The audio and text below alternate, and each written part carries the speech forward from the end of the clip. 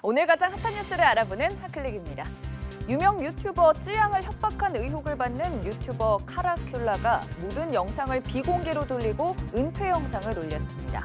카라큘라는 어제 개인 유튜브 채널에 마지막 인사를 드립니다라는 제목의 영상을 올리고 지난 5년간 쉬지 않고 달려온 유튜버의 삶을 내려놓고 진심을 전하기 위해 카메라 앞에 섰다고 밝혔는데요.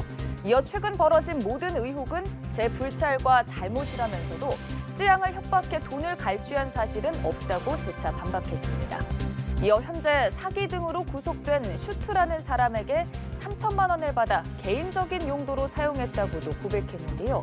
카라큘라는 조사에 성실히 임하고 또 처벌이 내려진다면 달게 받겠다며 반성과 참회하겠다고 덧붙였습니다. 축구대표팀 사령탑으로 홍명보 감독을 선임한 것을 두고 특혜 11호 후폭풍이 이어지자 대한축구협회가 해명에 나섰습니다.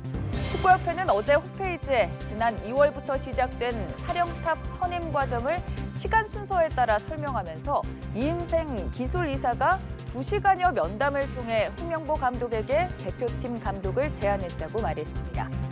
홍 감독과 만남이 성사되지 않았으면 다른 외국인 감독과 협상을 마무리했을 것이라며 감독 선임과 관련한 모든 과정에서 규정을 준수하고자 했다고 강조했는데요.